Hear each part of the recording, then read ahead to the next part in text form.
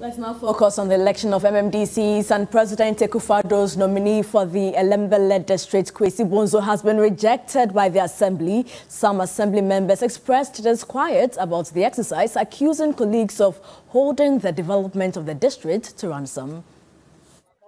The Ellembelle district was viewed as one of those where the nominee would face a Herculean task on his endorsement. Kwasi Bonzo was not among the three persons shortlisted by the voting committee. He was self-nominated, much to the delight of many, as some traditional leaders lauded the decision of the president at the news conference. Before voting, the membership of four government-appointed assembly members were revoked. But this was challenged by some other assembly members. After close to an hour, the decision was accepted. At the end of voting, the nominee Kwasi Bonzo was rejected.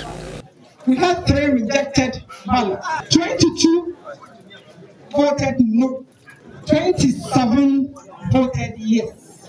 The nominee obtained more than 50%.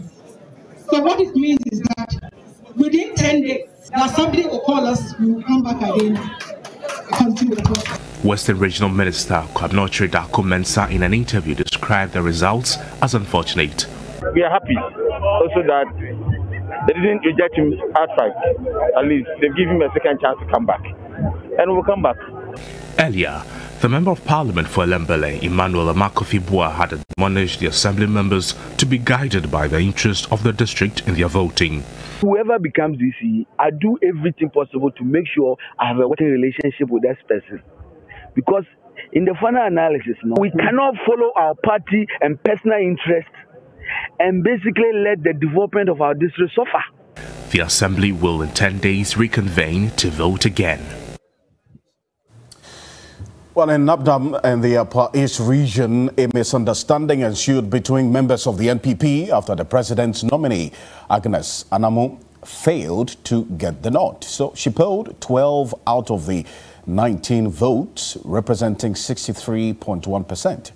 She is one of the DCEs to have been retained by the president, having already served a four-year term.